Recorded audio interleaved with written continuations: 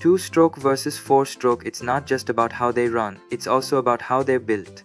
In this video, we're diving into the real design differences between a two-stroke piston and a four-stroke piston from shape to function. Two-stroke pistons are generally shorter. Why? They're built for lightweight and fast revs. On the other hand, four-stroke pistons are taller with a longer compression height. That extra size supports better sealing and longer strokes perfect for durability. Now look at the skirt. Two-stroke pistons often have cutouts or ports to help with gas flow and port timing. They're also lighter to keep up with high RPMs. Four-stroke pistons. Their skirts are longer and stronger to handle side loading and valve actuation forces. No cutouts here, it's all about stability. Piston rings are key.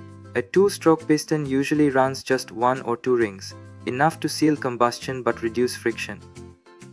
A 4-stroke piston uses 3 rings 2 for compression, 1 for oil control. More rings better sealing but also more drag. Take a look at the crown, the piston top. Two-stroke pistons are sometimes domed or contoured to shape the air-fuel charge since they rely on port timing not valves. Four-stroke pistons often have valve cutouts to avoid collision with the intake and exhaust valves. The crown shape also controls the compression ratio and combustion efficiency. Both pistons are made of lightweight aluminum alloys, but their strength and weight differ. A two-stroke pistons are built to be light and fast with thinner walls and smaller wrist pins.